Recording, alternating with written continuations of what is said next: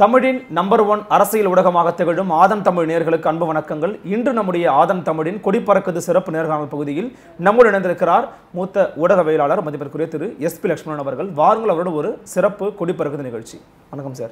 வணக்கம். எப்படி இருக்கீங்க? நல்லா இருக்கேன் மகிழ்ச்சி ரொம்ப முக்கியமான நிகழ்வுகள் தமிழக அரசியல் களத்தில் வந்து அடுத்தடுத்து ஏற்பட்டுக்கிட்டே இருக்குது. அந்த அடிப்படையில் முக்கியமான ஒரு வழக்கு நேற்று உச்சநீதிமன்றம் தள்ளுபடி பண்ணியிருக்கிறாங்க. அனுபவ் ரவி அப்படிங்கிறவர் வந்து மேலதிக விசாரணைக்கு வந்து தடை போடணும். இதில் வந்து என்னுடைய பேரை திட்டமிட்டு இணைப்பதற்கான வாய்ப்புகள் நிறைய இருக்குது அப்படிங்கிற இதில் பேசியிருக்கிறாரு. அந்த மனுவை விசாரிச்சுக்கிட்டே இருந்திருக்கிறாங்க. அவர் மனுவை கடைசியில் வாபஸ் வாங்கிட்டாரு அப்படின்னு சொல்கிறாங்க இந்த நிகழ்வு எப்படி பார்க்குறீங்க நீங்கள் வாபஸ் வாங்கலை. அது ஒரு சட்ட ரீதியான நடைமுறை சொல் தான் அது அதாவது ஒரு ப்ரேயரோட நம்ம ஒரு நீதிமன்றத்தை அணுகிறோம்னா அந்த வாதத்தை எந்த வாதத்தை சொல்லி அந்த ப்ரேயரை நம்ம இது வழக்கை தொடுக்கிறோமோ அதை நீதிமன்றம் ஏற்க தவறி நாங்கள் ஏற்கலை இந்த வழக்கை நாங்கள் தள்ளுபடி செய்கிறோம் அப்படின்னு சொல்லும்போதே இந்த வழக்கை வாபஸ் வாங்க அனுமதித்தும் பண்ணுவாங்க. அது ஒரு டெக்னிக்கல் டேர்ம் தான். ஆக இவர்கள் போய் வழக்கு வாபஸ் வாங்கல. நீதிமன்றம் அந்த வழக்கை தள்ளுபடி பண்ணிடுச்சு. அவர் தள்ளுபடி பண்ண போறாங்கன்னு தெரிஞ்சு இவங்க வழக்கை withdraw- அந்த மனுவை வித்ட்ரா பண்ணிக்கிற மாதிரின்னு ஒரு டெக்னிக்கல் டேர்ம் தானே தவிர இவர்கள் வாபஸ் வாங்கலை. நீதிமன்றம் உச்சநீதிமன்றம் சொன்ன வார்த்தைகள் ரொம்ப ரொம்ப முக்கியமானது. இந்த வழக்கை பொறுத்த வரைக்கும் கொடநாடு கேஸ் ரொம்ப முக்கியத்துவமான வழக்கு போல தெரியுதே. வழக்கு சரியான திசையில் செல்வது போல் தெரிகிறது அப்படின்ற வார்த்தைகள் எல்லாம் அவங்க அந்த ஆர்கியூமெண்ட்டில் நீதிபதிகள் சொல்கிறாங்க என்னென்னா சாதாரண பாமரன் நீங்கள் பேசுகிறான் இல்லையா? எதுக்காக எடப்பாடி பழனிசாமி இப்படி பதறார் கொடநாடு கேஸை எடுத்த உடனே? அப்படின்னு எல்லாரும் புரிஞ்சுக்கிற மாதிரி தமிழ் மண்ணை பற்றி தமிழ்நாட்டை பற்றி அவ்வளவாக தெரியாத நீதியரசர்கள் அவங்க. ஆனால் தங்கள் முன்னால் இருக்கிற ஆவணங்களை வச்சு பார்த்துக்கிட்டே இவர்களிடம் தெரிகிற அந்த பதற்றத்தை ரீட் பண்ணி தான் அப்போ இந்த வழக்கு சரியாக தான் போகுது போல. சரியாக போனால் தான் சில பேருக்கு பதட்டம் வரும் அப்படிங்கிற அந்த ஒரு பாயிண்ட்டை பார்த்ததா தான் நான் என்னுடைய பார்வையில் நேற்று நடந்த அந்த விசாரணையை நான் பார்க்குறேன். ஸோ அந்த மனுவை அவங்க தள்ளுபடி பண்ணுறாங்க எந்த மனுவை? இந்த வழக்கில் இதுவரைக்கும் விசாரிச்சிருக்கிற சாட்சிகள் போதும் இல்லது இதுவரைக்கும் கொடுக்கப்பட்ட சாட்சிகள் பட்டியலே போதும். புதுசாக எந்த சாட்சியும் சேர்க்க வேண்டாம் குற்றவாளிகளாக யாரையும் சேர்க்க வேண்டாம் புதிய ஆதாரங்கள் கிடைச்சாலும் அதை பற்றி கவலைப்பட வேண்டாம் புதிய ஆதாரங்களை தேடி போக வேண்டாம். அப்படிங்கிற கோரிக்கைகளை எல்லாம் உள்ளடக்கிய மேல் விசாரணை நடத்தக்கூடாதுங்கிற ஒரு கோரிக்கை தான் அந்த மனு. எழுப்பினவர் யாரு? அனுபவ் ரவின்னு யாரோ ஒருவர் அல்ல. இந்த வழக்கில் முப்பத்தி ஆறாவது சாட்சியா ஏதோ சேர்க்கப்பட்டிருக்கிறார். அவர் தனிநபர் அல்ல. அண்ணா திமுகவில் குறிப்பாக ஜெயலலிதா பேரவையில் மாவட்ட அளவில் பொறுப்பில் இருக்கிற ஒரு மரியாதைக்குரிய நபர் கவனிக்க தகுந்த நபர். அதுக்குள்ள நம்ம கொஸ்டின் பண்ணக்கூடாது. ஓகே. அப்படிப்பட்ட ஒரு நபர் இந்த வழக்கில் மேல் விசாரணை கூடான்னு போறாருன்னா அவர் தனியாக போனாரா? இல்லை கட்சியில் அனுமதி வாங்கினாரா? ஏன் கட்சி அனுமதின்னு நான் சொல்கிறேன்னா தர்ம யுத்தம் நடத்தி ஓபிஎஸ் தனியாக போன போது அந்த இரண்டு அணிகளையும் இணைத்து ரெண்டாயிரத்தி பதினேழு செப்டம்பரில் ஒரு பொதுக்குழு கூடினது. அந்த பொதுக்குழு தீர்மானத்தில் ஒரு தீர்மானம் என்ன சொல்லுதுன்னா கட்சி தொடர்பாக எந்த வழக்கு நீதிமன்றத்தில் யார் போய் அணுகணும்னாலும் அவர்களுக்கு அனுமதி கிடையாது. அப்படி கட்சி தொடர்பான விஷயங்களை ஒருங்கிணைப்பாளரும் இணை ஒருங்கிணைப்பாளரும் அதாவது ஓபிஎஸும் இபிஎஸும் சேர்ந்து தான் நீதிமன்றத்தை நாடுவார்களே தவிர வேறு எவர் ஒருவரும் கட்சி விஷயத்துக்காக கோர்ட்டை நாடக்கூடாது. சரி அது கட்சி விஷயத்து தானே சார். கொடநாடு விஷயத்தை எப்படின்னு நீங்கள் கேட்கலாம். நான் அப்படி பார்க்க விரும்பலை. கொடநாடு பங்களாவும் ஜெயலலிதாவும் வெவ்வேறு அல்ல. ஓகே. அது ஜெயலலிதாவுக்கும் சொந்தமான ஒரு பங்களாவா இருந்தது. அங்கே இருந்து அரசு பணிகளை அவர் கவனிச்ச ஒரு இடமா இருக்கிற சூழல்ல கொடநாட்டையும் ஜெயலலிதாவையும் பிரிக்க முடியாது. ஜெயலலிதாவையும் அதிமுகவையும் பிரிக்க முடியாது. ஜெயலலிதா சம்பந்தப்பட்ட ஒரு விஷயம் கட்சி விவகாரம் தான். அதிமுக இணைக்க முடியுமா நான் கேள்வி அதை தான் சொல்ல வரேன். கொடநாட்டையும் ஜெயலலிதாவையும் பிரிக்க முடியாது. ஒத்துக்கிறீங்களா? ஒத்துக்கிறேன். ஜெயலலிதாவையும் அதிமுகவையும் பிரிக்க முடியாது. ஒத்துக்கிறீங்களா. அப்போ ஜெயலலிதா சம்பந்தப்பட்ட எந்த ஒரு விஷயமும் அது அதிமுக சம்பந்தப்பட்ட விஷயம்தான். ஜெயலலிதாவுக்கு ஏற்படுகிற ஒரு நற்பெயரை பார்த்து அண்ணாதிமுக தொண்டன் எவ்வளவு சந்தோஷப்படுறானோ அதே போல ஜெயலலிதாவுக்கு ஏற்படுகிற ஏற்படுத்தப்படுகிற ஒரு அவப்பெயரை பார்த்து அண்ணாதிமுகக்காரன் வேதனைப்படணும் கொதிச்சு எழணும். ஆக ஜெயலலிதாவை அண்ணாதிமுகவை நீங்க பிரிக்க முடியாது. நான் இந்த விஷயத்துக்காக மட்டும் சொல்ல போயஸ் கார்டனை அரசு சொத்தாக அரசு உடைமையாக ஆக்கிற போதே சம்பந்தப்பட்ட நபர்களுக்கு நோட்டீஸ் அனுப்பணும். அது ஜெயலலிதாவுடைய வீடுங்கிறத முதல்ல நீங்கள் மனசில் வச்சுக்கணும்னு சொன்னேன். அப்போ தீபக்கும் தீபாவும் ஒரு வழக்கு போட்ட போது சென்னையைச் சேர்ந்த அதிமுக பொறுப்பில் இருக்கிற மாவட்ட நிர்வாகி ரெண்டு பேர் போய் அந்த வழக்குல தங்களை ஒரு பார்ட்டியா சேர்த்துக்கிட்டாங்க. அப்போதே நான் அந்த கேள்வியை கேட்டேன். ஜெயலலிதா சம்பந்தமான ஒரு வழக்குல தங்களை போய் இவங்க இணைச்சிருக்கிறாங்களே இது எடப்பாடிக்கு தெரிந்து நடக்கிறதா? ஓபிஎஸ்க்கு தெரிஞ்சு நடக்குதா? அவர்கள் அனுமதியை வாங்கினாங்களா? அப்போ அனுமதியை வாங்கினாங்கன்னா நீங்க ரெண்டு பேர் தான் நீதிமன்றத்துக்கு போகணும்னு சொன்னீங்களே இப்போ ஒரு தனிநபர் போறாங்களே கீழ் வட்ட நிர்வாகிகள் போறாங்களே எப்படி?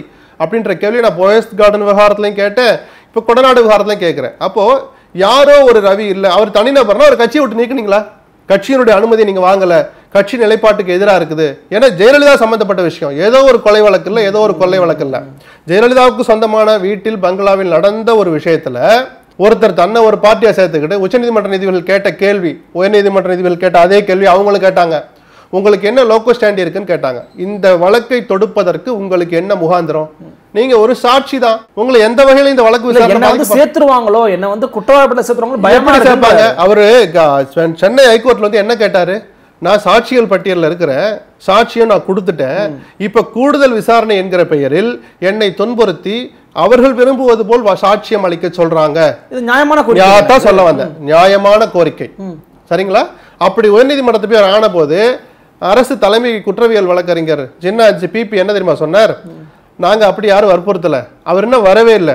வேண்டுமானால் அவர் தன்னுடைய வழக்கறிஞரோடு வந்து தன்னுடைய வாக்குமூலத்தை சாட்சியத்தை பதிவு பண்ணட்டும்னார்.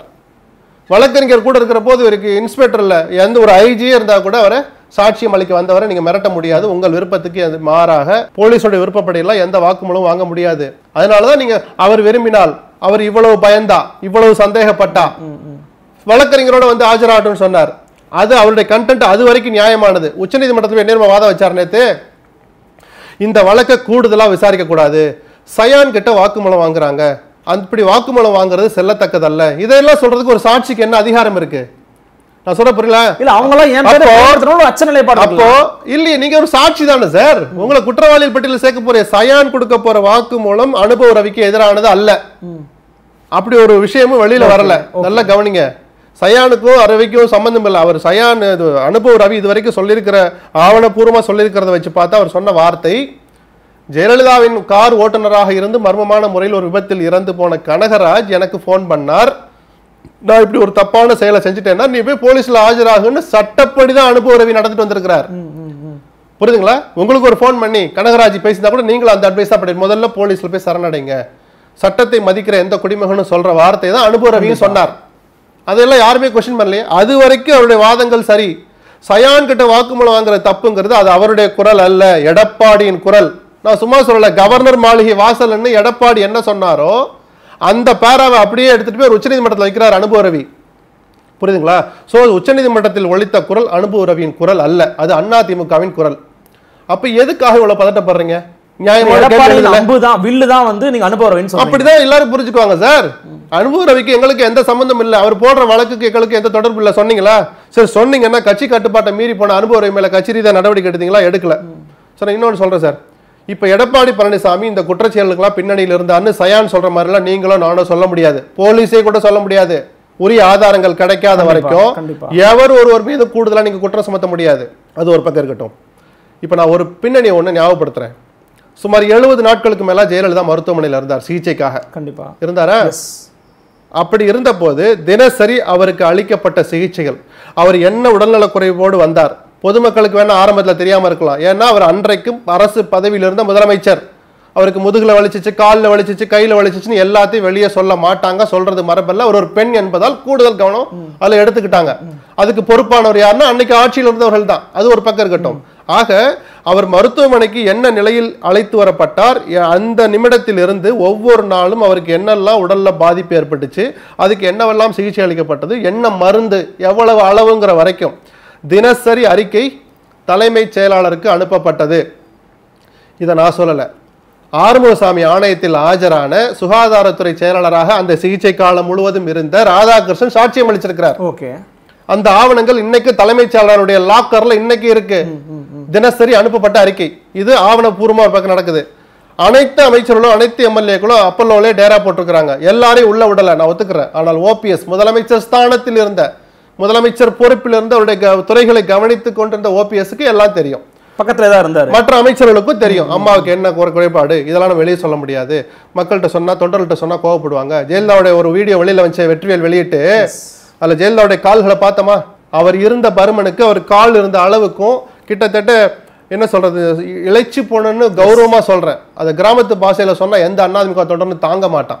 அப்படிப்பட்ட ஜெயலலிதாவை வெளியில காட்ட வேண்டாம். பு- புகைப்படத்தையோ வீடியோவை காட்ட வேண்டாம்னு அவங்க மறைச்சு வச்சிருந்தாங்கல்ல. ஆக என்னவெல்லாம் நடந்ததுன்னு நல்லா தெரிஞ்சிருந்தோம். ஓபிஎஸ் சொல்லிட்டு அத்தனை அமைச்சர்களுக்கு தெரிஞ்சிருந்தோம். அது அத்தனை பேர் கண் முன்னாடி நடக்குது அது. பிரஸ் ரிலீஸ் வருது பார்த்தவங்கள பார்க்கறாங்க பேசினவங்களோட பேசுறாங்க.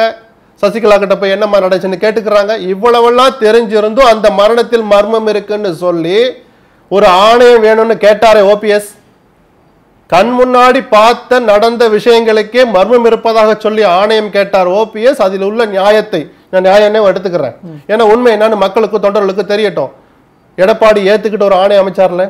சோ கண் முன்னால் உலகறிய நடந்த அந்த விஷயங்களுக்கே மர்மம் இருக்கு சொல்லி ஆணையம் கேட்டீங்களே நள்ளிரவில் அதிகாலையில் நடந்த ஒரு கொள்ளை கொலை சம்பவத்துல என்ன நடந்ததுன்னே தெரியாத போது என்ன நடந்துச்சுன்னு சொல்ல விரும்புகிற ஒரு காவல் அதிகாரி அல்லது என்ன நடந்துச்சுன்னு தெரியட்டும்னு விசாரணை நடத்துகிற அந்த அதிகாரி ஆட்சி மாற்றத்துக்கு பிறகு விரும்பினால் அல்லது ஸ்டாலின் ஏற்கனவே எதிர்க்கட்சி தலைவராக இருந்த போதே தமிழ்நாட்டு மக்களுக்கு கொடுத்த வாக்குறுதி பொது மேடைகள் நின்று கொடுத்தார். அச்சடிச்சு கையில கொடுக்கல. ஒரு ஒரு மேடையில பேசினார் தொடர்ந்து பேசினார்.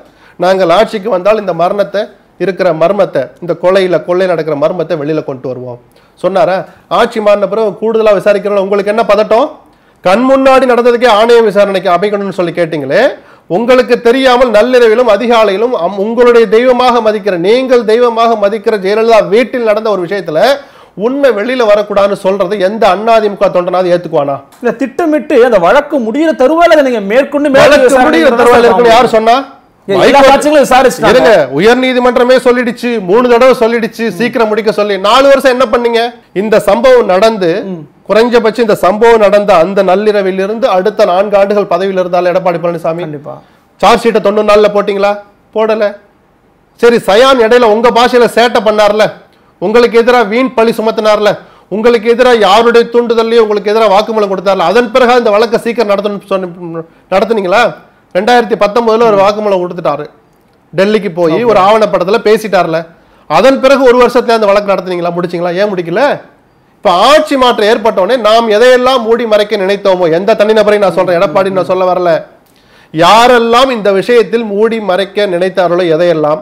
அதையெல்லாம் இந்த அரசு புதிய அரசு அமைந்த பிறகு அதை வெளியில கொண்டு வரல. என்ன சார் தப்பு? இல்ல மு க ஸ்டாலினுக்கு இதுல ஒரு நோக்கம் இருக்குன்றாங்க. நீங்களே சொன்னீங்க. அம்மையார் ஜெயலலிதா அவர்களுடைய மரணத்தை கூட மர்மம் இருக்குன்னு சொன்னாங்க. அதையும் தான் மேடை தோறும் பேசினார். ஆனா அதை பத்தி பேசாம இருக்கிறாரு பேசாம இல்லையே. பேசாம இல்லையே. அவர் அது நான் அதே தான் நானும் சொல்றேன். ஜெயலலிதா மரண- மரணத்துல மர்மம் இருக்குன்னு அதையும் கொண்டு வாங்க. அவர் எப்படி கொண்டு வர முடியும்? இதுவரைக்கும் பதிவான நூத்தி ஐம்பதுக்கும் மேற்பட்ட சாட்சிகள் ஒரு சாட்சியும் கூட இல்ல மர்மம் இருக்குன்னு சொல்லல. ஸ்டாலின் நினைச்ச ஆணைய தீர்ப்பை திருத்தி எழுத முடியுமா? இல்ல. ஒரு முதலமைச்சராக அவருக்கு என்ன கடமை இருக்குன்னா எதை வெளியில கொண்டு சொல்லணும்னா அந்த ஆணையத்துக்கு ஏற்பட்டிருக்கிற தடையை நீக்கி அப்போல்ல நிர்வாகம் உச்சநீதிமன்றத்துல போய் தடை வாங்கியிருக்கா அதை நீக்கி மேலும் கால அவகாசங்கள் தேவையற்ற கால அவகாசங்கள் கொடுக்காமல் அந்த ஆணையத்தினுடைய முடிவை சீக்கிரம் வர வைக்கிறதுக்கு பேர் தான் ஸ்டாலின் சொன்ன வார்த்தை சட்டப்பூர்வமான நடவடிக்கை. இன்னைக்கு கொடநாட்டில் நடக்கிற சட்டப்பூர்வ நடவடிக்கை நான் நம்புறேன். ஏன்னா அவர் ஒருவேளை எடப்பாடி பழனிசாமிக்கு எதிராக எந்த ஆதாரமும் இல்லாமல் அல்லது ஒரு சொத்தையான ஆதாரத்தை எடுத்துக்கிட்டு ஒரு பிரம்மாண்டமான அஸ்திரம் கிடைச்சிடுச்சு. எடப்பாடி சதி பண்ணிட்டார். இவர்தான் கொலையாளி இவர்தான் கொள்ளையடித்தவர்னு சொல்லிட்டுறதுக்கு ஆதாரமா? ஒரு ஆதாரம் கிடைச்சிடுச்சுன்னு ஒரு சொத்தை வாதத்தையோ சொத்தை ஆதாரத்தை கொண்டு வந்து காமிச்சா ஊடகங்களோ எதிர்க்கட்சிகளோ நீதிமன்றமோ சும்மா இருக்க மாட்டாங்க. நான் சொல்றது புரியுதா. சோ முதல்ல என்ன நடந்ததுன்னே சொல்ல விடாம தடுக்கிறதுல எடப்பாடி காட்டுற ஆர்வம் தான் ஒட்டுமொத்த அதிமுகவையும் தொண்டர்களையும் நிலைகுலைய செய்திருக்கு. எதுக்காக அவர் இவ்வளவு பதறணும்? பயப்படவே நீங்க எதுவுமே செய்யணும் எதுக்கு சார் பயப்படணும்? அவ்வளவு சுலபமாலாம் நீங்க உங்களை குற்றவாளி பட்டியல சேர்க்க முடியாது. ஆதாரம் வேணும். இல்ல இங்க ஒரு கேள்வி இருக்கு எனக்கு. அதாவது இந்த கொடநாடு கொலை கொலை சம்பவம் வந்து எடப்பாடி பழனிசாமிக்கு ஒரு பின்னுக்கு தள்ளி இருக்குதா? இல்ல அதிமுகவே பின்னுக்கு தள்ளி இருக்குன்னு நினைக்கிறீங்க இல்ல இல்ல. அதாவது திமுகவே அப்படி ஒரு கற்பனையில இறங்க மாட்டாங்கன்னு நான் நினைக்கிறேன். எடப்பாடி பழனிசாமி இந்த வழக்கில் சேர்ப்பதன் மூலமாக அண்ணா திமுக நிலைகுலை செஞ்சிடலாம் அண்ணா திமுக வீழ்த்திடலாம் நினைச்சா அது இந்த ஒரு ஜென்மத்திலே நடக்காது. இது எடப்பாடி பழனிசாமியுடைய என்கிற தனிநபருடைய இமேஜ் சம்பந்தப்பட்ட விஷயம் தானே தவிர அண்ணா திமுகவுடைய இமேஜுக்கு இதுக்கு துளி கூட சம்பந்தம் கிடையாது. இன்னும் சொல்ல போனா அவர்தான் எதிர்க்கட்சி தலைவர். சொல்ல போனால் எடப்பாடி பழனிசாமின்னு பேர் வந்ததுனால தான் அவர் பேரை சொல்றோம் புதிய குற்றவாளிகள் யார் வேணாலும் இனிமேல் சேரலாம். இவங்க இவங்க நடத்த போற கூடுதல் விசாரணையில ராமசாமி குப்புசாமின்னு யார் வேணாலும் புதுசா சேர்க்கலாம் ஆதாரங்களின் அடிப்படையில. அப்படி வர்றபோது அது அவர்களுடைய இமேஜ் தான் பாதிக்குமே தவிர அண்ணாதிமுக காரர் சந்தோஷம் தான் சார் படுவான். அம்மா வீட்டில் நடந்த கொலையில உண்மை வந்துடுச்சு. கூடுதல் விஷயங்கள் வெளியில வந்துடுச்சுன்னு அவன் சந்தோஷப்படுவானா? இல்ல ஐயோ குற்றவாளியை கண்டுபிடிச்சாங்களே கவலைப்படுவானா? நீங்க சொல்லுங்க சார். சார் அதிமுகவின் தலைமையே இப்படிப்பட்ட ஒரு தவறான செயலை செஞ்சிருக்காங்கன்னா அது ஒரு அவப்பெயர் தானே அவமானம் தானே கரை தானே? இல்ல, இல்ல. அந்த வார்த்தையை நான் திருத்திடுறேன். அண்ணா திமுகவின் தலைமையை தவறான செயலை செஞ்சதா நாம தீர்ப்பு எழுத வேண்டாம். அப்படி அப்படி ஒரு தீர்ப்பு வந்துச்சு. நல்ல தீர்ப்பு வராது. நான் அதைத்தான் சொல்றேன் பதறாதீங்கன்னு எடப்பாடிக்கு சொல்ற அதே அட்வைஸ் தான் உங்களுக்கும். நாம யாருமே முடிவு பண்ண வேண்டாம் சார். நீதிமன்றம் முடிவெடுக்கட்டும். உங்களை என்ன பண்ண போறாங்கன்னு என்ன முடிவெடுக்கலையே. உங்களை சாட்சியா சேர்க்க போறாங்களா? ஒரு விசாரணைக்கு வாங்கன்னு கூப்பிட போறாங்களா? இல்லை குற்றவாளிகள் அடிஷனல் ஷார்ட் ஷீட் போட்டு உங்களை கூடுதலாக குற்றவாளிகள் பட்டியலில் சேர்க்க போகிறோம் எதுவுமே தெரியாத போது எதுக்கு சார் பதறீங்க? இதை வச்சுக்கிட்டு உடனே அண்ணாதிமுக அழிச்சலாம்னு திமுக நினைச்சாலும் நடக்காது. அண்ணாதிமுகங்கிறது மிகப்பெரிய மக்கள் இயக்கம். ஒரு எடப்பாடி பழனிசாமி பாதிக்கப்படுவதாலோ ஒரு ஓ பன்னீர்செல்வம் மேல ஒரு ஊழல் வழக்கு பாய்வதனாலோ எங்க ஜெயலலிதா மேலேயே பல வழக்குகள் வந்து ஒரு தண்டனையே பெற்ற பிறகு கூட அதிமுக அலையில மீண்டும் மீண்டும் ஆட்சிக்கு தான் வந்துகிட்டு இருந்துச்சு. அது பெரிய மக்கள் இயக்கம். ஆனால் அதுக்கு ஒரு சரியான தலைவர் இருந்தார். இன்னைக்கு அவர் போன்ற தலைவர் இல்லை. அது ஒரு பலவீனம்ன்றதை நான் ஒத்துக்கிறேன். ஆனால் அவ்வளவு சுலபமாக ஒரு வழக்கு ஒரு வழக்கின் தீர்ப்பு அந்த வழக்கு ஏற்படுத்துகிற தாக்கத்தை வச்சு ஒரு மிகப்பெரிய ஒரு அதிமுக போன்ற ஒரு இயக்கம் அழிஞ்சிடும். வீழ்ந்துடும்லாம் நான் பார்க்கல. இல்ல இப்போ உதாரணத்திற்கு எடப்பாடி பழனிசாமிக்கு இப்படி ஒரு இக்கட்டான ஒரு சூழல் இருக்கு அவர் நெருக்கடிக்கு உள்ளாக்குறாங்க அப்படின்னா உடன் பயணிக்கிறவங்க நிறைய பேர் அது ஓபிஎஸ்ஸா இருக்கட்டும் அல்லது வேலுமணியா இருக்கட்டும் தங்கமணியா இருக்கட்டும் ரொம்ப ஒரு உத்வேகப்படுத்துற மாதிரியே இல்ல. அவங்கவங்க உங்க வேலையை பார்க்குற மாதிரில தோணுது. வேலையை பார்க்கறது மற்றவங்க வேணா இருந்தா கூட நான் தவறு சொல்ல மாட்டேன். ஓபிஎஸ் இந்த மாதிரி மௌனம் காக்கிறது தப்பு. அன்னைக்கு போய் ஒரு சாலை மறியல்ல போய் உட்கார்ந்திருக்கவே கூடாது. எடப்பாடி கூட்டம் என்ன சொல்லியிருக்கணும்? அண்ணே நீங்க இவ்வளவு பதட்டப்படாதீங்க. நம்ம மக்கள்கிட்ட எடுத்துட்டு போவோம். சரியான நேரத்தில் நீதிமன்றத்துக்கு இப்போ நீதிமன்றத்துக்கு கூட எடப்பாடி போக முடியாது. ஏன்னா எதை வச்சு போவார் அவர்? அந்த வழக்கில் எடப்பாடி யார்? அரசியல் ரீதியாக மேடை போட்டு திமுக காரங்க பேசலாம். எடப்பாடி சதி பண்ணிட்டாரு சதியை நாங்கள் வெளியே கொண்டு வரணும். நீங்களும் நானும் நீதிமன்றம் அப்படி பேச முடியாது. எந்த ஆதாரம் இல்லாமல் எடப்பாடிக்கு எதிராக எப்படி சொல்ல முடியும்? அப்போ இந்த ஸ்டேஜில் நீங்கள் பதட்டப்படாதீங்க. மக்கள் மன்றத்தில் போய் பேசுவோம். பொது இந்த இந்த கொடநாடு நடப்பது என்ன நடந்தது என்ன இந்த அரசு வந்து என்ன சட்டத்துக்கு புறமா நடந்துட்டு இருக்கு? மேடை போட்டு பேசுவோம். அப்படிலாம் அட்வைஸ் பண்ணுறதை விட்டுட்டு இவரும் சேர்ந்து போய் சாலை மறியல் பண்ணுறார் நான் அதனால தான் ஜெயலலிதாவுடைய மரண மர்மத்தை பற்றி இப்போ ஞாபகப்படுத்தினேன் நான் எழுப்பல அந்த கேள்வியை. ஓபிஎஸ்ஐ கிளப்பினார்.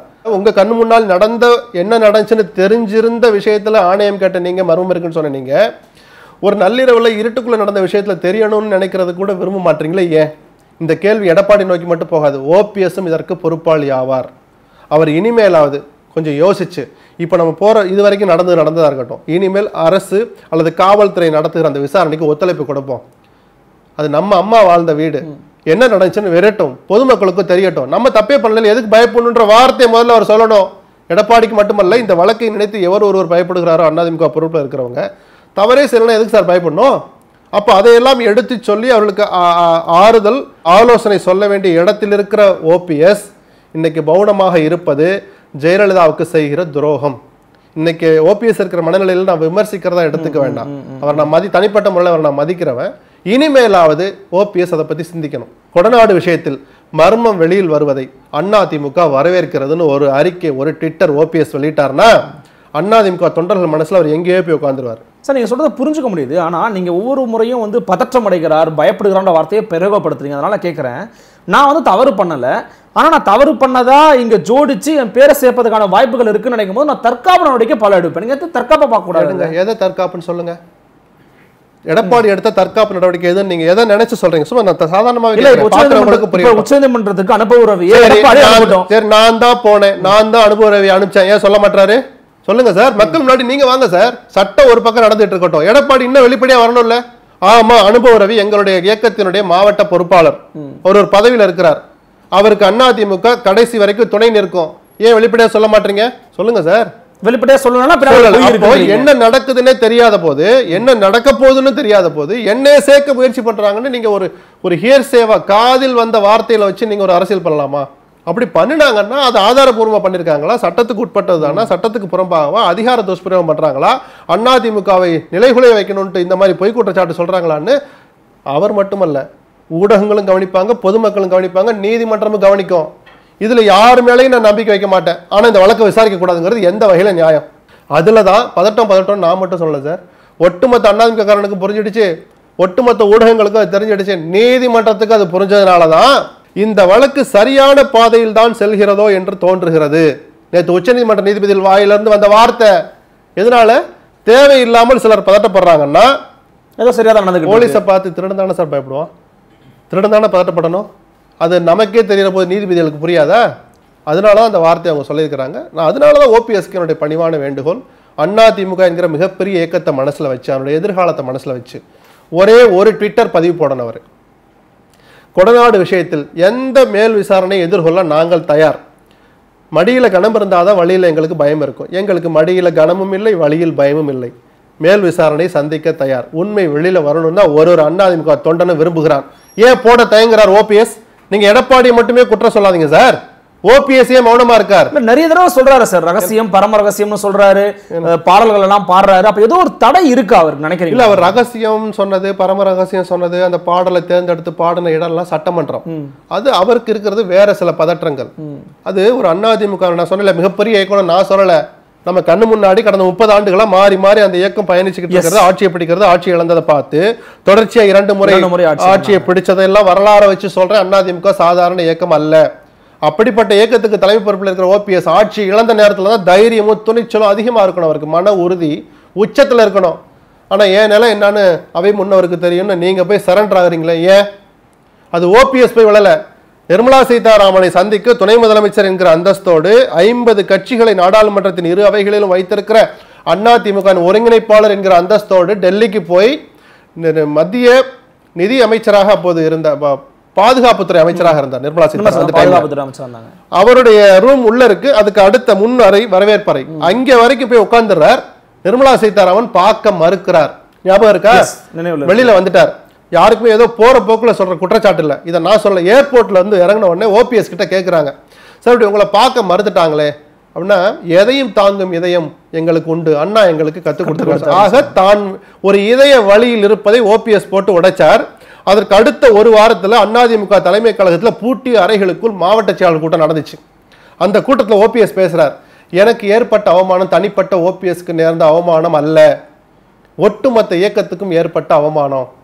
அப்படின்னு சொன்னார்ல. சோ ஓபிஎஸ் கொண்டு நடந்துச்சுன்னா இந்த மாதிரி விஷயங்கள்ல கொடநாடு போன்ற தனி விஷயங்களை விட்டுடுங்க. ஒரு அரசியல் ரீதியாக ஒரு இதை தாக்கத்தை ஏற்படுத்துகிற நிகழ்வுகள்ல ஓபிஎஸ் என்பவர் தனிநபர் அல்ல. இவ்வளவு பெரிய இயக்கத்துக்கு தலைமை பொறுப்பில் இருக்கிற ஓபிஎஸ் எப்படி நடந்துக்கணும்? சட்டமன்றத்தில் நீ அப்படி நடந்துக்கலாமா? ஏன் நிலைமை என்னன்னு உங்களுக்கே தெரியும். அதாவது நெருப்பு இங்கிட்டு போனா நெருப்பு இங்கிட்டு போனா வெள்ளம் கடவுள் பார்த்து சிரிக்கிறான் அப்படின்னு அந்த பாடலில் எடுத்து ஓம காட்டி காட்டுறாரு. அவ்வளோ பலவீனமானவராக உங்களை நீங்களே ஏன் காட்டிக்கிறீங்க? தேவையில்லை சார். கலைஞருக்கு நினைவிடம் கட்ட போகிறாங்க ஒரு பத்திரிகையாளராக நான் அதை வரவேற்பேன். கலைஞர் மீது ஆயிரம் விமர்சனம் இருக்கலாம். எத்தனையோ குற்றச்சாட்டுகள் உண்டு. அதையெல்லாம் தாண்டி அவர் தமிழ் சமுதாயத்துக்கு உழைச்சவருங்கிறதுல அவர் பேரை மறுத்துட்டு தமிழ்நாட்டு வரலாற்றை எழுத முடியுமா? அப்படிப்பட்டவருக்கு நினைவு மண்டபம் கட்டுவதை தமிழ்நாடு அரசு கட்டுவதை எங்கள் இயக்கம் அதிமுக வரவேற்கிறது. உட்கார வேண்டியதானே? என்ன சொல்றீங்க? வரலாற்று சிறப்புமிக்க இந்த அறிவிப்பை நாங்கள் வரவேற்கிறோம். என்ன சார் இது? இது வரலாற்று சிறப்புமிக்க அறிவிப்பு. திமுக காரவங்களுக்கு அதிமுக காரனுக்கு இல்ல. திமுக எதிர்ப்பு கலைஞர் எதிர்ப்பு என்கிற இந்த இரண்டு வரியில உருவானது அதிமுக கண்டிப்பா. ஜெயலலிதா தன்னுடைய இறுதி மூச்சு வரைக்கும் அந்த ரெண்டையும் அண்ணாமிக தொண்டர்களுக்கு சொல்லி கொடுத்துட்டு இருந்தால் அவர் அதை மறக்கவே இல்லை. அவர் வழியில் பயணிப்பதா சொல்ற ஓபிஎஸ் சார் நீங்க வரவேற்கலாம். நீங்க ஆட்சியில் இருந்த போது அவருக்கு இடம் கொடுக்கல. அதுவே தப்புன்னு நான் சொன்னேன். அனுமதி கொடுத்துட்டு அதிமுக தொண்டர்கள் மத்தியிலிருந்து எதிர்ப்பு வந்தால் அதை அடக்குகிற ஆற்றல் இருக்கிறவங்க தான் ஆளுமைன்னு நான் சொன்னேன். அந்த ஆளுமை அன்னைக்கு அவங்களுக்கு இல்ல கையை தூக்கிட்டாங்க நீதிமன்றத்துக்கு போயிட்டு வாங்கன்னாரு. எடப்பாடியே சொன்னார். நீங்க நீதிமன்றத்துல போய் அனுமதி வாங்கிட்டு வாங்க நான் பேசாம இருந்துக்கிறேன்னார். அப்போ துணிச்சல் உங்களுக்கு அப்பயும் இல்லை. அப்ப எதிர்த்தோம். இப்ப ஆட்சி அவங்க கையில இருக்கு. பண்றாங்க பண்ணிக்கணும்னு சொல்லிட்டு வரலாற்று சிறப்புங்கிற வார்த்தையை பயன்படுத்துற அளவுக்கு ஓபிஎஸ் ஏன் பலவீனமாக போனார்? பயணத்துக்கு யார் காரணம் இது? போன்ற சம்பவங்கள் நிகழ்ச்சிகள் வார்த்தைகள் தான் அதிமுக பலவீனப்படுத்துமே தவிர கொடநாடு வழக்குல எடப்பாடி சேர்த்துட்டாங்கன்னு அதிமுக வீழ்ந்துரும்னா அதெல்லாம் கனவு கண்டா ஒருபோதும் நடக்காது. சார் இப்போ சமீபத்தில் இன்னைக்கு நடந்த நிகழ்வு கூட ஒப்பிட்டு கேட்கணும்னு நினைக்கிறேன். காலையில் இந்த கேள்வி இல்ல நேரம் இல்லா நேரத்தில் வந்து கேள்வி கேட்கறதுக்கு இங்கே அனுமதிக்கல பல விஷயங்களை பேச விடலை அப்படின்னு சொல்லி வெளியேறாங்க அதிமுக வெளிநடப்பு செய்கிறாங்க அதன் பிறகு இவங்க சிஏ எதிர்ப்பு தீர்மானத்தை கொண்டு வந்து அமல்படுத்துகிறார் முதலமைச்சர். அதன் பிறகு பாஜக வெளிநடப்பு செய்கிறாங்க சிஏ எதிர்ப்பை பண்ணிட்ட பிறகு வெளிநடப்பு செஞ்சால் மக்கள் மத்தியில் அம்பலப்பட்டு போயிடுவோம் அதனால தான் முன்னாடியே வெளியில் போயிடலாம் அப்படிங்கிற பிளான்ல ஏடிஎம்கே பண்ணாங்கன்றாங்க இல்லை உண்மையா சார் இது மாதிரியான ஸ்ட்ராட்டஜியை திமுக எதிர்க்கட்சியா இருக்கிற போதும் பண்ணுவாங்க. தாங்கள் வெளிப்படையாக சொல்ல விரும்பாத கருத்துக்களை சொல்ல வேண்டிய கட்டாயம் வந்துச்சுன்னா அந்த சூழலை தவிர்ப்பது எந்த கட்சியும் கடைபிடிக்கிற நடைமுறை தான் நான் அதுக்குள்ள வரல. இந்த ஜீரோ ஹவரில் என்ன பிரச்சனையை கிளப்பணும் எந்த விஷயத்தை சொல்லி அதுக்கு அரசிடமிருந்து விளக்கத்தை கேட்கணுங்கிறதும் ஒரு கட்சியினுடைய உரிமை. ஓகே. ஒரு சட்டமன்ற உறுப்பினருடைய கடமையும் கூட. அந்த வகையில் இன்னைக்கு கேபி முனுசாமி எந்திரிச்சு சிலதை கேட்டார் எடப்பாடி எந்திரிச்சு சிலதை கேட்கிறார் அனுமதி மறுத்தாங்க வெளியில வந்துட்டீங்க. இது எல்லாமே ஜனநாயக நடவடிக்கை. நான் கொச்சைப்படுத்த விரும்பல கேள்வி எழுப்பவும் யாருக்கும் அது அதிகாரம் கிடையாது. விமர்சிக்கிறது உங்க உரிமை. இது ஒன்றும் தவறான நடவடிக்கை இல்லை. ஆனா வெளியில வர்றதுக்கு முன்னாடி உங்களுக்கு காலையிலேயே அஜெண்டா வந்துடுச்சு. இன்னைக்கு சட்டமன்றத்தில் என்னவெல்லாம் அஜெண்டான்னு தெரிஞ்சு போச்சு. அதுல ஒரு அஜெண்டாவை எடுத்து வச்சா நீங்க விமர்சிக்கிறீங்க வெளியில வந்து. பேசுறீங்க. சிஏங்கிறது முக்கியமான ஒரு விஷயம். அந்த சிஏஏ சட்ட திருத்த மசோதாங்கிறது நாட்டுக்கு அவசியமானதுதான். அப்படின்னு நீங்க வெளியில வந்தா சொல்லிருக்கணுமா இல்லையா? சொல்லல. இல்ல இன்னைக்கு தமிழ்நாடு அரசு கொண்டு வந்து அந்த சட்ட திருத்தத்தை ரத்து பண்ணணும்னு சொன்ன அந்த தீர்மானத்தை நாங்க வே- உள்ள இருந்து எங்களால பேச முடியல.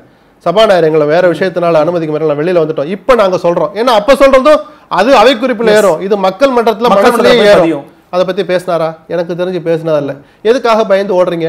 இதைத்தான் சார் சொன்னேன் ஆளுமையற்ற தலைவர்கள் அண்ணா திமுக எந்த நிலைப்பாட்டை எடுப்பதற்கும் அந்த கட்சிக்கு உரிமை இருக்கு. ஸ்டாலினோ முதலமைச்சர் ஸ்டாலினோ திமுக தலைவர் ஸ்டாலினோ அதை கேள்வி கேட்கறதுக்கு உரிமை கிடையாது. விமர்சிக்கலாம் நீங்க அரசியல்ல. அது அண்ணா திமுக உரிமை. அவர்கள் என்ன நிலைப்பாட்டை எடுக்கலாம். திமுக எடுக்கிற அதே நிலைப்பாட்டை தான் அண்ணா திமுக எடுக்கணும்னு எதிர்பார்க்கறது எந்த வேலை ஜனநாயகம்? இல்ல. நான் என்ன சொல்றேன்னா நீங்க எடுக்கிற நிலைப்பாடு எதுன்னு சொல்லிட்டு அதை துணிச்சலா சொல்லுங்கன்னு சொல்றேன். கேள்வி கேட்கறாங்க அப்படியே கடந்து போயிட்டாரு எடப்பாடி. இதுதான் இதைத்தான் ஆளுமேற்ற தலைவர் நாலு வருஷமா கத்திக்கிட்டு இருக்கிறேன் அண்ணா திமுக போக வேண்டிய திசை இது அல்ல. இதை வழிநடத்த வேண்டிய தலைவர்கள் இவர்கள் அல்ல. இல்ல இப்ப அதிமுகவின் போக்கு இப்படியே போய்கிட்டு இருந்துச்சுன்னா சட்டமன்ற நடவடிக்கையை நீங்க பாக்குறீங்க. தனிப்பட்ட ஆளுமைகளும் தொடர்ந்து நெருக்கடிக்கு உள்ளாகுறாங்க. அதிமுகவின் எதிர்காலமே ஒரு கேள்விக்குறியா இருக்கிற என்னன்னா, மாதிரி இது எடப்பாடி பழனிசாமி மேல இப்ப கொடநாடு விஷயம் மட்டும்தான் அரசல் புரசலா வந்துகிட்டு இருக்கு. அவர் மீது ஊழல் குற்றச்சாட்டை எதிர்க்கட்சியாக இருக்கிற போதே அவர்களுக்கு அந்த இடத்தில் கிடைத்த ஆதாரங்களை கொண்டு போய் கவர்னர்கிட்ட கொடுத்து நடவடிக்கை எடுக்கணும் கேட்ட கட்சி தான் திமுக. இன்னைக்கு அவங்க ஆட்சியில் இருக்கிறாங்க. கூடுதல் ஆதாரங்கள் நேரம் கிடைச்சிருக்கும். வழக்குகள் இனிமேலும் வரலாம் ஊழல் வழக்குகள். அதுபோல் ஓபிஎஸ் கையில் சுரண்டினாலே வருகிற பூசி முடிச்ச சிமெண்ட் கையில் சுரண்டினாலே வருதுங்கிற அளவுக்கு புளியந்தோப்பு குடிசை மாற்று வாரிய கட்டடம் எவ்வளவு பலவீனமா இருக்குன்னு சட்டமன்றத்திலே போட்டு அம்பலப்படுத்திட்டாங்க. அதுக்கு உடனே ஓபிஎஸ் தான் அந்த கரண்டி எடுத்து பூசினாருன்னு நம்ம சொல்ல வரல. ஆனால் ஒரு தார்மீக பொறுப்பு அந்த துறை அமைச்சருக்குங்கிற முறையில அதை ஏதாவது வழக்கு போடுறாங்களா? அதை ஓபிஎஸ் எதிர்கொள்ள போறாரா? இதையெல்லாம் நம்ம பார்க்க வேண்டியிருக்கு. இந்த மாதிரியான வழக்குகள் போடுறத பொதுவாகவே அதிமுக தொண்டர்கள் பொதுமக்கள் எப்படி பார்ப்பாங்கன்னா இவங்க ஆட்சிக்கு வந்து அவங்க மேல போடுவோம் அவங்க ஆட்சிக்கு வந்து அவங்க மேல வழக்கு போடுவோம் தெரிஞ்ச கதை தானேன்னு சொல்லுவாங்க. ஆனால் அப்படி சொல்கிற போதெல்லாம் ஆளுமை மிக்க தலைவர்கள் ரெண்டு கட்சியில இருந்தாங்க. அங்கே கலைஞர் இருந்தார் இங்க ஜெயலலிதா. இங்க ஜெயலலிதா இருந்தா அங்கே கலைஞர் இருப்பார் ஆட்சியிலையும் எதிர்க்கட்சியிலையும். இன்னைக்கு ஆட்சி பொறுப்பை இழந்த இவர்கள் தங்கள் மீது போடப்படுகிற ஊழல் வழக்குகளை எவ்வளவு துணிச்சலோடு எதிர்கொள்ள போறாங்கங்கிறத கவனிக்க தயாரா இருக்கிற நேரத்துல தான் சட்டமன்றத்துல அவ்வளவு பலவீனமா நடந்துக்கிட்டாங்கன்னு நான் சொல்றேன். முக்கியமான மசோதா நிறைவேற போறலாம் அவர் அன்னைக்கு சேலத்துக்கு போயிட்டாரு. இன்னைக்கு ஒரு வெளியில வந்துட்டாரு. இருந்தும் பேசல. ஓபிஎஸ் இன்னைக்கு அவருடைய குடும்ப சூழல் காரணமா இருக்கிறார். அவர் மேல நம்ம குறை சொல்லக்கூடாது. அப்ப நான் இருக்கிறேன்னு சொல்லிட்டு ஒரு துணிச்சலா கருத்துக்களை சொல்லலாம் இப்படி துணிச்சலற்ற தலைவர்களாக இவங்க இருக்கிறாங்கிற கருத்தை அதிமுக தொண்டர்கள் எல்லாரும் ஏற்றுக்கிறாங்க ஆனால் எந்த திசையில் பயணிக்குங்கிறத பல்வேறு காரணிகள் தான் தீர்மானிக்கும். ஒரு நாள் நிகழ்வு ஒரு வழக்கு ஒரு ஊழல் வழக்கு ஒரு தீர்ப்பு தீர்மானிக்கிற விஷயம் அல்ல. என்னுடைய அசம்ஷனாக நான் கேட்க விரும்புகிறேன் இப்போது வரைக்கும் டிடி தினகரன் அவர்கள் வந்து ரொம்ப ஒரு ஆக்டிவாக இல்லைனாலும் அவர் எல்லாத்தையும் கவனிச்சுக்கிட்டு இருக்கிறாருங்கிறத பார்க்க முடியுது. ஆனால் சசிகலா அவர்களும் இந்த விஷயங்களெல்லாம் தூரம் கவனிச்சுக்கிட்டு தான் இருக்கிறாங்க. ஏதேனும் ஒரு வகையில இது இன்னும் கூட கூட போகிற காலகட்டங்கள்ல இணைக்க வாய்ப்பு இருக்கு? இல்ல எந்த ஒரு இயக்கத்தினுடைய நல்லது கெட்டது எல்லாத்தையுமே எந்த இயக்கத்துக்கும் க- அந்த இயக்கங்கள் பிளவுபட்டாலும் சரி பிளவுபட்ட இயக்கங்கள் இணைந்தாலும் சரி காலம் தான் தீர்மானிக்கும் நான் தொடர்ந்து சொல்லிக்கிட்டே இருப்பேன் இது ஏதோ பெரிய நான் பொன்மொழி உதிர்க்கிற கவிஞர்லாம் கிடையாது. நான் யதார்த்தவாதி. கண்ணால பார்க்கறத காதால கேட்டதை நடந்த வரலாற்றெல்லாம் மனசுல வச்சு அந்த வார்த்தையை சொல்றேன். அதிமுக எதிர்காலம் அப்படிதான் நான் சொல்லுவேன். காலம் தான் தீர்மானிக்கும். ஆட்சி பொறுப்பை இழந்துவிட்ட இந்த நேரத்துல இப்போது தலைமை பொறுப்பில் இருக்கிற ஓபிஎஸும் எடப்பாடியும் எவ்வளவு மன உறுதியோடு அந்த சவால்களை சங்கடங்களை அது சட்டவிரோதமாகவே இருந்தால் கூட அரசியல் பழிவாங்கலாகவே இருந்தால் கூட இல்லை ஆதாரபூர்வமாகவே இருந்தால் கூட அந்த வழக்குகளை எப்படி எதிர்கொள்ள வச்சு தான் இந்த தலைமையால் அதிமுக எவ்வளோ தூரத்துக்கு எடுத்துகிட்டு போக முடியும்? இல்லை இந்த தலைமை வேண்டாம். இல்லை இவர்கள் எப்படி சொல்லி பார்த்தாலும் இவங்க கேட்க மாட்டாங்கன்னு இரண்டாம் கட்ட தலைவர்கள் இவ்வளோ நாள் அமைதியாக இருக்காங்க நான் ஒத்துக்கிறேன். எடப்பாடிக்கு எதிராக ஒரு சிறு துரும்பு கூட ஓபிஎஸ்க்கு எதிராக ஒரு சிறு துரும்பு கூட இரண்டாம் கட்ட தலைவர்கள் ஒரு வார்த்தை கூட விடல. பேசல. ஆனால் அவருடைய மௌனம் எது வரைக்கும் நீடிக்குதுன்னு பார்க்கணும். அவர்களுக்கும் வழக்குகள் பாயிற போது அவர்கள் எப்படி வாயை திறக்கிறாங்க என்ன ரியாக்ட் பண்றாங்கிற பொறுத்து தான் இப்போது இருக்கிற அதிமுக தலைமையின் கீழ் இந்த அதிமுக எவ்வளவு தூரம் பயணிக்குன்னு பார்க்க முடியும். அதன் பிறகு மற்றதெல்லாம் காலம் தான் தீர்மானிக்கும். தினகரன் சசிகலா அவருடைய ஈடுபாடு இணைப்பு சாத்தியமா இணைப்பு வரணும்னு யார் குரல் கொடுக்க போறா எந்த சூழல்ல குரல் கொடுக்க போறாங்க அது அவசியம் தான் எத்தனை பேர் எவ்வளவு சீக்கிரம் ஏத்துக்க போறாங்க அப்படிலாம் பொறுத்திருந்து தான் பார்க்கணும். அதிமுக அழியும் அப்படிங்கறதெல்லாம் வந்து நடக்காத ஒரு விஷயம் எனக்கு தெரிஞ்சு கண்ணு கட்டிய தூரத்தில் அதிமுக அழியிற காலம் தெரியல எனக்கு. அவ்வளவு சுலபமாலாம் இப்படி ஒரு மக்கள் இயக்கத்தை அழிச்சிட முடியாது. அது சில பேர் கனவு காண்றாங்க அண்ணா அதிமுக அழிச்சிட்டா பிஜேபி வளர்ந்துரும். ரெண்டு வழக்கை போட்டு ரெண்டு பேரும் உள்ள தள்ளிட்டா அண்ணா அதிமுக அழிஞ்சிடும் திமுக நினைக்கிறது சார் அப்படி பார்த்தா இதே கணக்கு திமுகவுக்கு பொருந்தும் தானே? திமுக பூஜ்ஜியம் வாங்கின கட்சி. அழிஞ்சு போயிடுச்சா? அடுத்தடுத்து ஆட்சிக்கு வரல. ஏன்னா திரும்ப சொல்ற அப்போ ஆளுமைகள் இருந்தாங்க. இப்போ அது போல ஒரு தலைவர்கள் வருவாங்க சார். திமுக அழிஞ்சுட்டு நம்ம சொல்ல முடியுமா? இன்னைக்கு ஆட்சியில் இருக்கிறாங்க. நாளைக்கு ஆட்சி பொறுப்பு இழந்துட்டா திமுக அவ்வளவுதான் சொல்லிடுவீங்களா? வாய்ப்பு இல்லை நம்மளோட காலம் தான் தீர்மானிக்கும். ஒரு கட்சியினுடைய தலைமையை மட்டுமல்ல நம்மளுடைய தமிழ்நாட்டையும் சேர்த்து தான் நான் சொல்றேன். ஒரு நானும் தமிழ்நாட்டு பிரஜை தானே. எனக்கும் தமிழ்நாட்டு மீதான தமிழ்நாட்டு நலன்ல தமிழ்நாட்டு வளர்ச்சியில தமிழ்நாட்டு எதிர்காலத்துல எனக்கும் கவலைகள் இல்லாமல் இருக்குமா? உங்களுக்கு இருக்கிற மாதிரி எல்லாருக்கும் இருக்கிற மாதிரி நமக்கும் இருக்கும். காலத்தின் கைகளில் இருக்குது நல்லபடியாக நடக்குதுன்னு பார்ப்போம். நிச்சயமா காலம் தான் தீர்மானிக்கும் அப்படிங்கிற ஒரு முக்கியமான ஒரு விஷயத்தை சொல்லி நிறைவு பண்ணியிருக்கிறீங்க. இந்த நேரத்தில் தலைப்பின் கீழாக வந்து உங்களுடைய வருகையினையும் கருத்து பேசுறதுக்கு மிக்க நன்றி. நன்றி. அணி நண்பர்களே மீண்டும் ஒரு கொடிப்பறக்குது சிறப்பு நேர்காணல் பகுதியில் மற்றும் ஒரு சிறப்பு தலைப்பில் இன்னொரு சிறப்பு ஆளுமையோடு சந்திக்கிறேன். அதுவரை உங்களிடமிருந்து விடைபெறுவது உங்கள் அருள்மொழி இணைந்திருங்கள். இது உங்கள் ஆதன் தமிழ்.